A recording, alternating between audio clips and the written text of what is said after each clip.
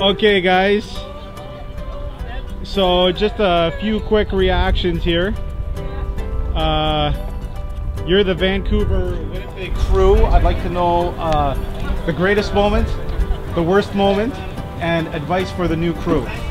Best moments were always when when you're seeing uh, Arvid going down, you're thinking, how's that guy doing that after eight hours? You pull up beside him, pull down the window, and he's cracking a joke, and he's smiling, and that, that just keep, keeps you going. One of my low moments was uh, at um, 4.20 this morning when uh, my alarm clock had gone off at 4.05 and I was supposed to wake everybody up and uh, I was wide awake. I turned off my alarm on my phone and I heard Arvid snore so loudly that I thought of recording it and that was my last thought before I fell asleep again.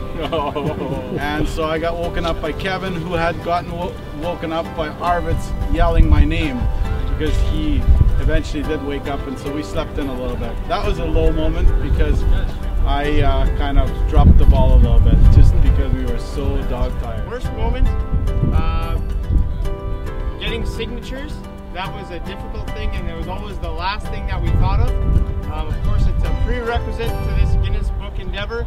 Um, one time I uh, had to get the signature from someone and uh, you know, that was always a hard thing when you walk into a small town and uh, I thought that, that Arvid would be the first person on this trip that I thought that I'd see uh, puking and uh, so I walked up to someone who uh, wasn't feeling too good and I ended up getting a signature from them.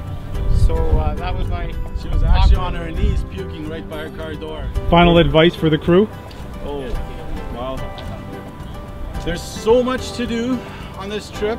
You have to basically um, stick with what is important right now. Sometimes um, the most important thing is to, to look after Arvid's well-being and make sure that um, he gets what he needs because essentially that's what this is all about. Also, Way to go, guys. You're going to miss each other? I bet. Yeah, we will. Definitely. it was awesome to get to